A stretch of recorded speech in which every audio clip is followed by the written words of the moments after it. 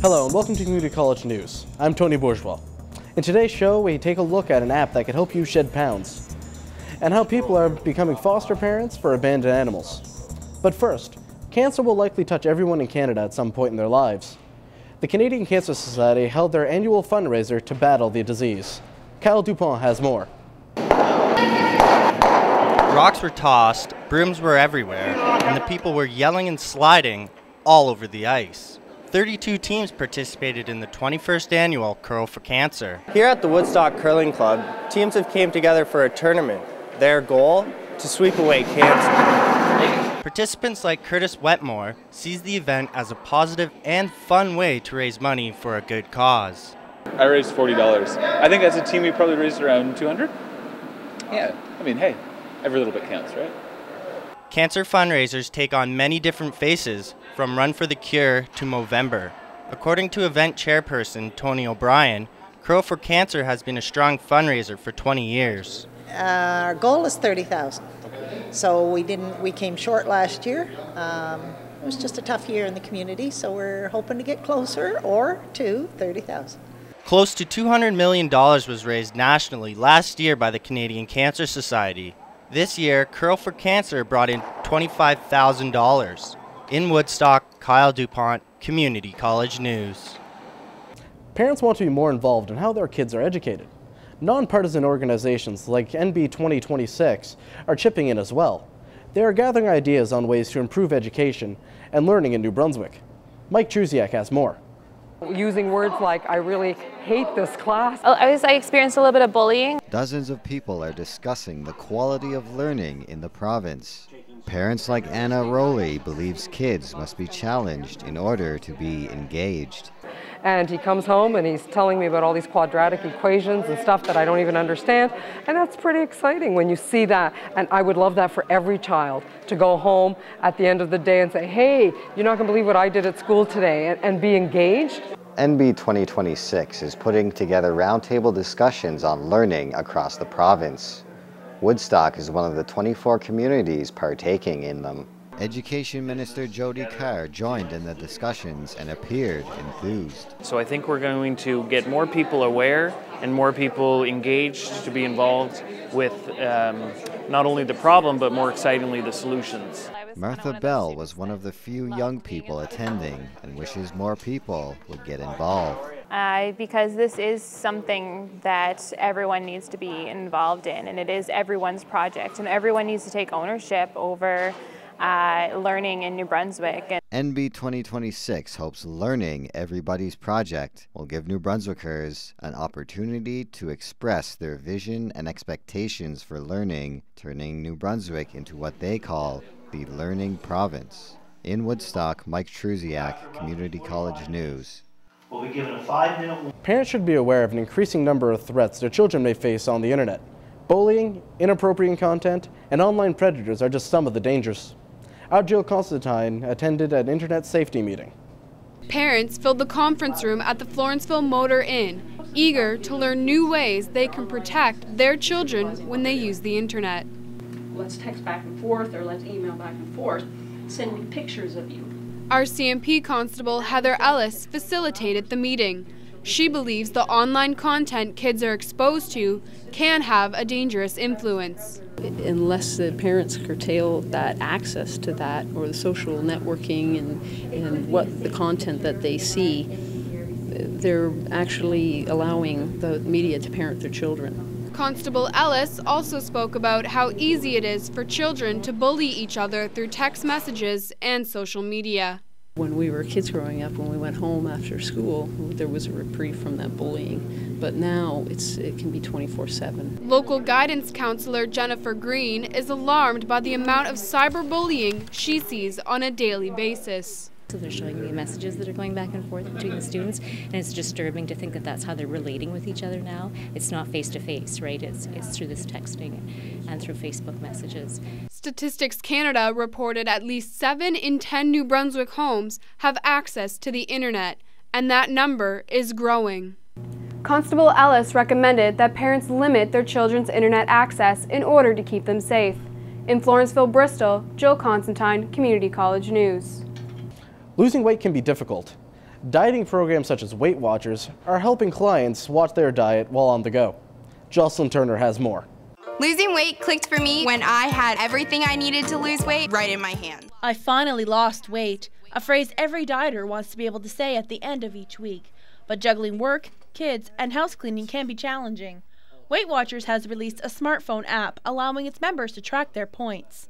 So it's basically several tools that we give out in the meeting room in paper form, hard copy form, and even more electronic tools on top of that.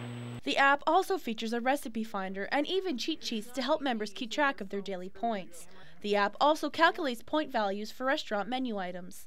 There's several restaurants included on the iPhone app uh, that they can go in and put in, for example, McDonald's. They can select McDonald's Big Mac and it will actually tell them the points value for that. Floyd says anyone on a busy schedule would appreciate the app's convenience. It's just that, you know, luxury of having the entire Weight Watchers program on your phone at your fingertips 24 7. Floyd has seen members lose more weight because they can access information constantly. Susan Bushby is a lifetime Weight Watchers member. Although she has not switched over to the application herself, she says she thinks the app is a great idea for Weight Watchers members.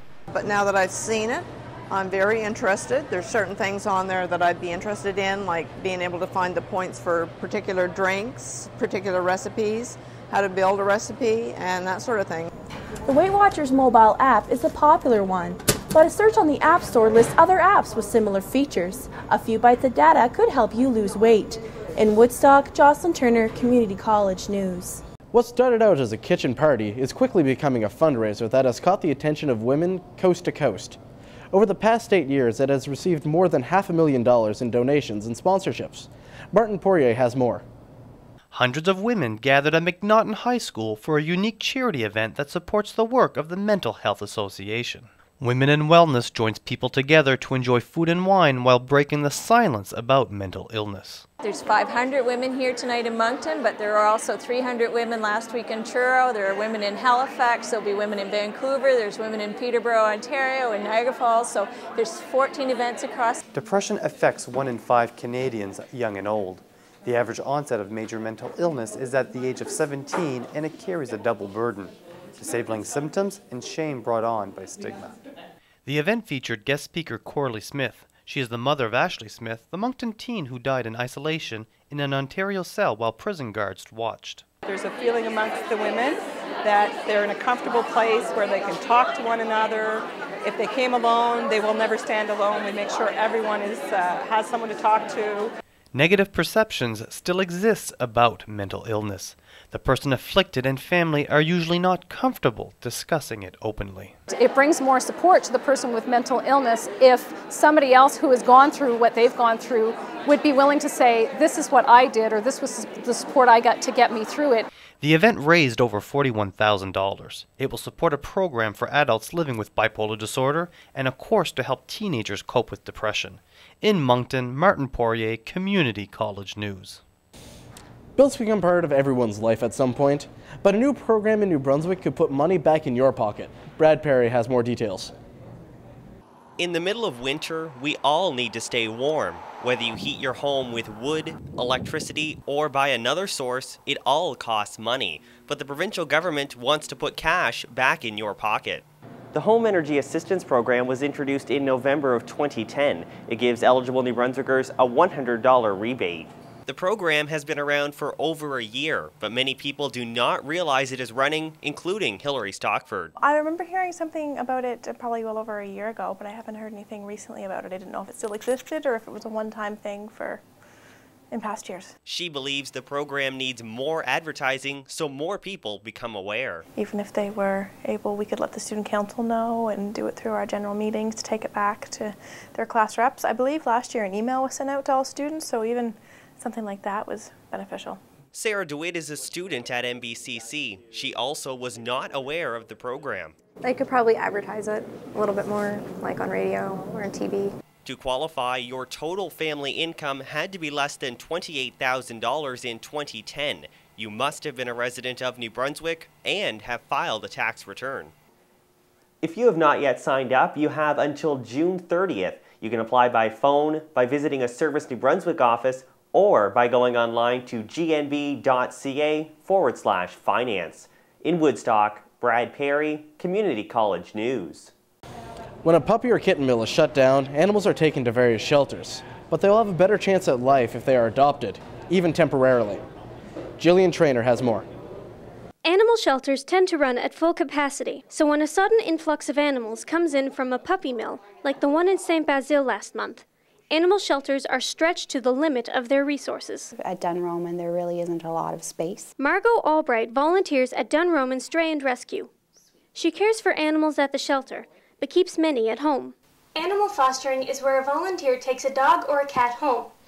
The pet's behavior is monitored and it is prepared for adoption. Albright has fostered about 70 animals in about six years. So we have a lot of foster homes out there, and without people fostering, we really wouldn't be able to help as many as we can. Sometimes a foster parent and pet get along so well, the pet becomes a permanent part of the family. My first foster cat I brought home with me after the very first weekend I volunteered in January and I fostered her until uh, June when I made it official that she was going to be mine. Ron Cairns works at the Carleton County Animal Shelter in Debec. He says fostering is better for a pet than being in a shelter. The atmosphere uh, is better for them. They get better exercise. They don't have to be kenneled. Uh, the family gets to know them when it comes time for them to be adopted out, they're used to being around people and not just being in a cage. The Canadian Federation of Humane Societies says 143,000 animals were admitted to shelters across Canada in 2010. Of that number, 51,000 were euthanized. The Dunroman shelter is like many others, crowded and always recruiting foster parents. About two out of three pets at Canadian shelters will either be adopted or returned to the original owners. Albright and Lanto are among many people who've given pets a second chance at life. In Florenceville, Bristol, Jillian Trainer, Community College News. That was our show for today. To submit a story idea, you can email us at jschool at gmail.com. Or for more of our stories, you can go to jschoolnbcc.ca. Have a great day.